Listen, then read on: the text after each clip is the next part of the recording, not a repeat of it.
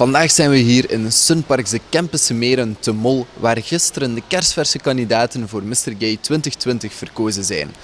Benieuwd wie deze geworden zijn? Wel, naast mij zit één van de kandidaten, Jarno. Dag Jarno. Dag Matthias. Alles goed? Perfect. Top. Hoe heb je het weekend beleefd? Super fijn. Ik had gewoon niet verwacht dat ik hier ging zitten vandaag. Het is allemaal overweldigend, maar echt wel super leuk om te doen. Dus alles is al een, eh, een extra plus. Sowieso.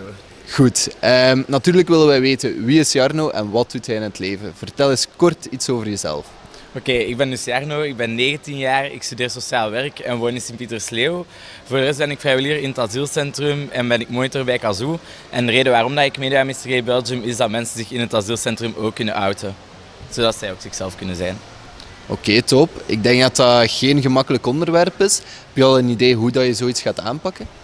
Ik ben sowieso al van plan om samen te werken met een organisatie, hoop ik, zoals Wel Jong Niet Hetero, dat zij mij kunnen ondersteunen, zodat we een praatkring en zo kunnen organiseren, omdat zij bezig zijn met vormingen geven over holibizijn uit de kast komen. Dus ik hoop vooral daar een paar partners in te vinden. En voor de rest ben ik nog echt aan het nadenken hoe ik het specifiek wil doen, maar ik wil sowieso met Rode Kruis en Wel Jong Niet Hetero gaan samenwerken, omdat ik het alleen sowieso niet kan. Ja, samen staan we sterker. Hè? Goed, als we de echte Jarno willen leren kennen, wat moeten we dan absoluut weten?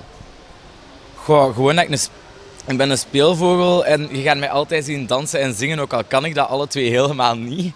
Maar dat is zo denk ik heel typerend aan mij. En voor de rest gewoon weet dat je altijd bij mij mocht komen. En ik denk dat je dan de belangrijkste dingen van mij weet.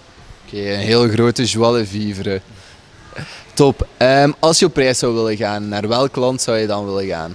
Dominicaanse Republiek. En waarom? Omdat ik daar een laatste vakantie met mijn ouders was naar daar en ik vond dat een geniaal land. Dus ik wil echt sowieso ooit teruggaan.